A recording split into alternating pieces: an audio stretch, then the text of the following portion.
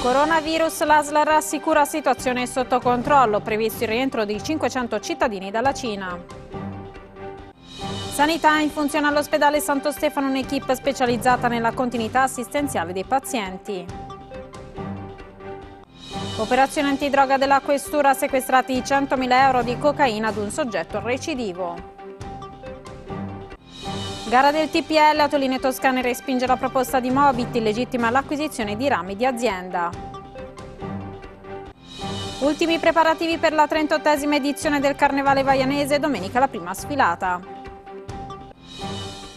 Una buona serata dalla nostra redazione e ben a un nuovo appuntamento con l'informazione di TV Prato. Si è tenuto questo pomeriggio una commissione consigliare per fare il punto della situazione sul coronavirus. A Prato situazione sotto controllo. Comune ASL invitano a non fare allarmismi. Intanto nei prossimi giorni è atteso il rientro di circa 500 cittadini provenienti dalla Cina. Una commissione per informare e rassicurare sul coronavirus anche in seguito al sospetto caso emerso ieri, poi rivelatosi negativo, della donna pratese di 50